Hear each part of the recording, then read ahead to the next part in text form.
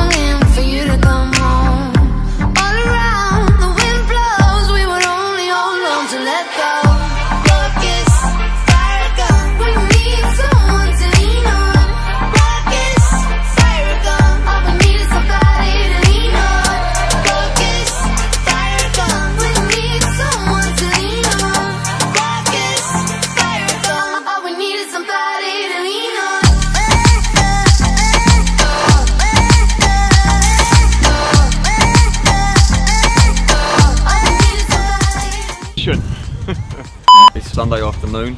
Been here since got here late Friday night. Started fishing yesterday morning. The weather's been really good. We've had a few fish, one common and uh, two mirrors. Nothing massive, but still a few fish. Not too bad for the first time on the venue. Been using the Nutcracker from uh, Urban Baits. Really quality. Really pleased. We've seen not a lot of fish showing. Fishing to a few snags and a few gravel patches and managed to pick them up through them spots. But really pleased and we'll see you on the next series. Make sure you log into uh, Urban Baits for all your bait needs. Yeah, see you soon.